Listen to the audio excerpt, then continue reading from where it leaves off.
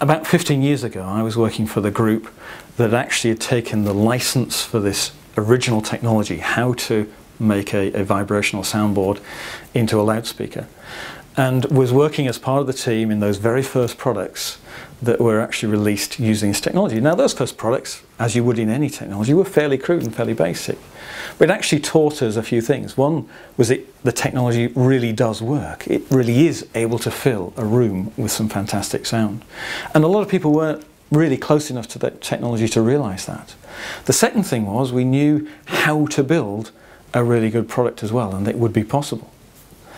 And basically, we started Amina now 14 years ago, taking those ideas and just wanted to focus on this technology. We wanted to build the best invisible loudspeaker or low discrete, if you like, discrete loudspeaker. And we built products that were pictures on walls, we built products that were ceiling tiles, we built products that were projection screens. And we were listening to customers the entire time. And one of those customers in within the first two years of our uh, in in being as a company, one of those customers was a uh, an architect in Germany. He was doing a bank building, and he realised he could take our very thin 35 millimeter deep, flat loudspeakers, set it into the wall, paint it the same colour as the wall, but you would always have a shadow line, a gap around the edge. And so uh, we said, okay, well, let's let's try something. We think we can design you a product that's actually going to get plastered in. You won't have a shadow line at all. We came to an arrangement that we would design something, he would put it in the wall. If it worked, he would pay us. If it didn't work, just leave it there. We wouldn't worry about it. Anyway, the product was uh, developed within about four weeks. We sent it across to them. They put it in the wall. The uh, tradesmen on site all were pretty wowed by this thing, having seen it uh, in actual operation. And there was a very there's an interesting tale there because one evening before the end of the project, somebody broke in to actually try and break it out of the wall, the very first invisible loudspeaker. Now he was disturbed, that got refinished, that customer was incredibly happy with the result, and that product is still working to this very day. And ever since then, as a company, we focused entirely on this product line, making visual products, making them better than ever before. Today we spend more than ever on our R&D program, taking this to new levels that mean uh, customers can have uh, an ultra reliable long-term solution of sound in their homes without seeing it, without interfering with their interior design. How come the violinist is holding the violin very close to the ear, yet isn't deafened, and yet we hear it in the back of the concert hall. What's happening in that circumstance? And it's because the vibrational soundboard is much better at connecting with air and putting sound into it. So firstly what's happening is the vibrational device is sending energy in all directions, not just forwards as we imagine from a conventional pistonic device.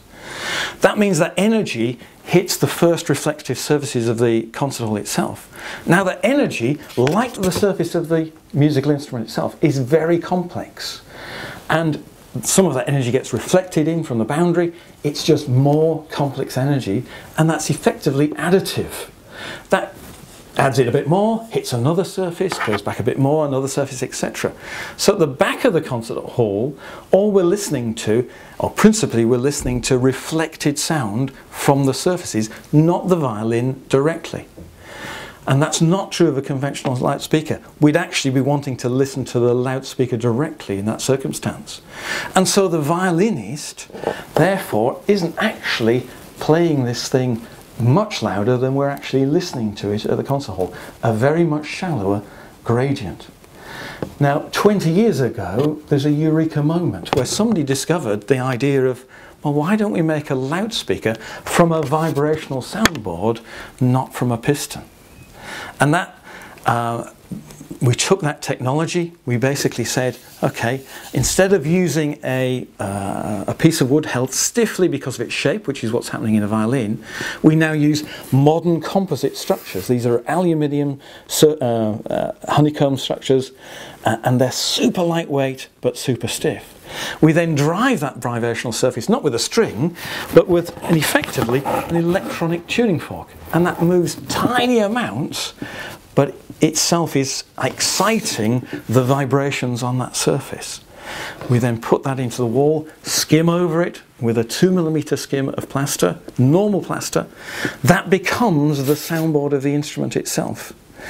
Uh, and then that, when that plays, of course, will fill the entire room with sound. In fact, much better than that conventional loudspeaker, we can get away in bigger spaces like restaurants, uh, an open plan, uh, homes, etc., with a lot less loudspeakers. In fact, perhaps we can use four times less number of loudspeakers. That's a lot less installation time as well.